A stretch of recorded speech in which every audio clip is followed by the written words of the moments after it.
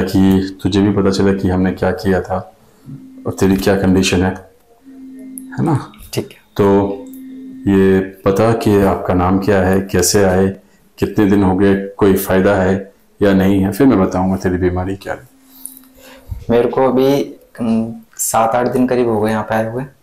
और मेरे को इंस्टा से मैंने देखा था कि मतलब काफ़ी रिलीफ मिला है मेरे को पहले से। हम्म।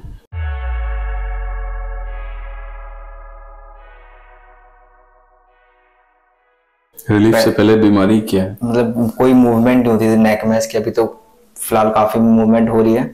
काफ़ी आवाज़ आती थी नेक में। चलने में दिक्कत होती थी।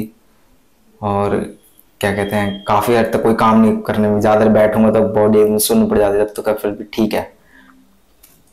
काफ़ी आराम है पहले से। तो घर में किसी को दिक्कत है ये? नहीं घर में तो फ़िलहाल किसी को नहीं है। हम्म। मेरे को ही है।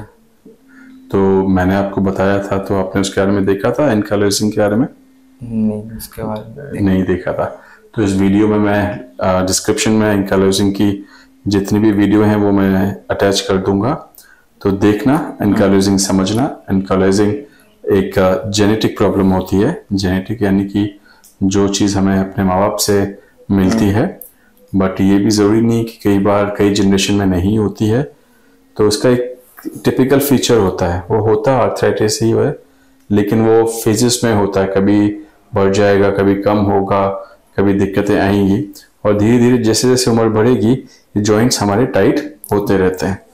तो हम सारे पेशेंट्स को बताते हैं जो भी इनकलेजिंग वाले आते हैं सबको आराम मिलता है सब बेटर होते हैं कि आपको on and off on and off करते रह कराते रहना पड़ेगा। और ट्रीटमेंट से ज़्यादा आपको फिर एक्सरसाइज यानी योगा पे डिपेंड होना पड़ेगा। अगर आप योगा नहीं करेंगे फ्लेक्सिबिलिटी वाली चीज़ें नहीं करोगे तो जितनी गर्दन चल रही है ना हाँ। वो भी बंद हो जाएगी। इस बीमारी का ड्रॉबैक ही यही है। अगर आप इस तरह से सोच रहे हो कि आप मेरे पास 500 दिन आओगे और सारी बीमारी ज़ीरो हो जाएगी हाँ। तो ये ज़ीरो नहीं होती है। ये घटती और बढ़ती है। ठीक है? तो हमें ये देखना है कि ये बीमारी जब धीरे धीरे खत्म होती चली जाए तो एक्सरसाइज करते रहना पड़ेगा और थेरेपी वगैरह सारी चीज़ें लेना पड़ेगा। मैंने आपको एक ब्लड टेस्ट भी लिखा था H P L A twenty seven करवाया नहीं करवाया? अभी नहीं करवाया। क्यों? सैलरी खत्म हो गई। तो टेस्ट तो ज़्यादा महँगा नहीं होता। मैं पता भी नहीं करा कि यहाँ अपने यहाँ पता करता वहाँ काफ़ी महँगे में बताते हैं। तो कहीं भी करा लो H P L twenty seven बहुत बड़ा नहीं है। और हमने व्यूअर्स आप भी देखी कि हमने इसका काफ़ी बार एडजस्टमेंट करने की कोशिश की है। एडजस्टमेंट प्रॉपरली होता नहीं क्योंकि जॉइंट बहुत ज़्यादा टाइट हैं आप भी देखिए। और लेटेंगे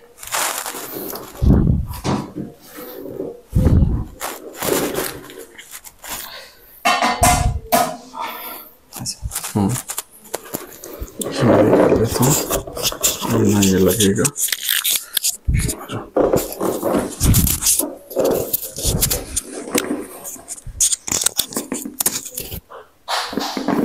हाथ साइड में रख लेंगे। इजी छोड़ देंगे। Without okay nice nice nice थोड़ा थोड़ा प्रेशर तो ले पा रहा है इससे पहले इतना भी नहीं ले पाता था है ना? और हल्का हल्का खुला भी है। टर्न करेंगे मेरी तरफ़ करवट ले ले।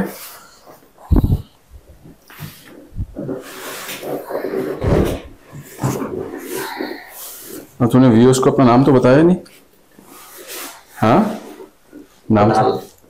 कुणाल पांड्या? कुणाल चौहान। चौहान। डरो मत कुछ नहीं होगा। क्योंकि कुछ हो नहीं सकता है। अब व्यूअर्स आप सब मेरी इतनी सारी वीडियोस देखते हो। ये देखो इसका अ, मैं जैसे ये ऊपर लाने की कोशिश कर रहा हूँ ये ये और ज़्यादा आगे जाने की यहाँ से पुश करने की कोशिश कर रहा है।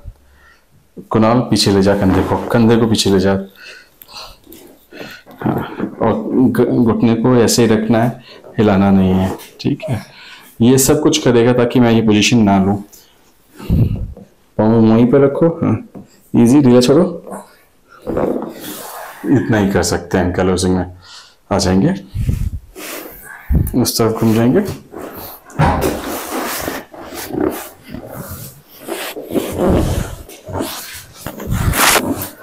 सीधा।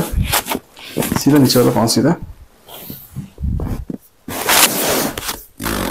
रिलैक्स अब देखो।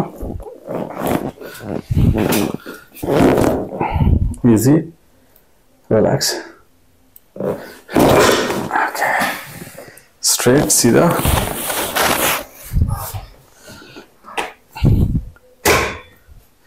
बहुत टाइट अब इसकी मूवमेंट गैस करो चेक करो कि क्या है। हो रहा है, थोड़ा तो। इजी एक और। ओके आ जाओ। व्यूअर्स आपने देखा ही है कि इसकी जॉइंट्स कितने रिस्ट्रिक्टेड हैं और कितना ज़्यादा इसको दिक्कत हो रही है और इसकी फाइनेंशियल प्रॉब्लम भी है तो हमने इसको काफ़ी ट्रीटमेंट में जो बेस्ट डिस्काउंट हो सकता था वो भी किया। आप में से भी किसी को कोई फाइनेंशियल प्रॉब्लम्स हैं तो आप हमसे कांटेक्ट कर सकते हैं। हम क्लिनिक पे आने के बाद ही डिसाइड करेंगे अगर आप हमसे फ़ोन पे पूछना चाहो तो हर किसी के लिए नहीं करेंगे। और सिर्फ़ उन्हीं बीमारियों के लिए करेंगे जो बहुत लंबी चलती हैं या बहुत ज़्यादा दिक्कतें देती हैं। और कुछ बताना चाहो कुणाल? सपोर्ट बहुत ज़्यादा करते हैं और क्या कहते हैं वैसे मतलब क्लिनिक में स्टाफ भी बहुत अच्छा है इनका। सब मतलब तब भी तो लोग आके एक स्टार दे जाते हैं गूगल पे। नहीं ऐसे नहीं फाइव स्टार लोग दे जाते हैं एक स्टार नहीं, फायर जो star. तो तुम दोगे तुम दोगे रिव्यू हाँ जी। तुमने दिया नहीं तुम्हें इतना बोला था क्यों नहीं दिया? मैंने तो मतलब उस पर लाइक वगैरह करे थे। हाँ तो गूगल पे रिव्यू भी देना है। ठीक है सो व्यूअर्स जो हमारे पास ट्रीटमेंट के लिए आ चुके हैं जो जानते हैं प्लीज़ हमें गूगल पे सपोर्ट ज़रूर कीजिए अपना रिव्यू ज़रूर दिखाएँ। अगर आपकी वीडियो हमें आपको हमारी वीडियो अच्छी लगती है तो प्लीज़ चैनल को लाइक करें शेयर करें सब्सक्राइब करें और हम आपको ज़्यादा से ज़्यादा कंटेंट ज़्यादा से ज़्यादा प्रॉब्लम्स सारी चीज़ें ज़रूर दिखाएँगे। Thank you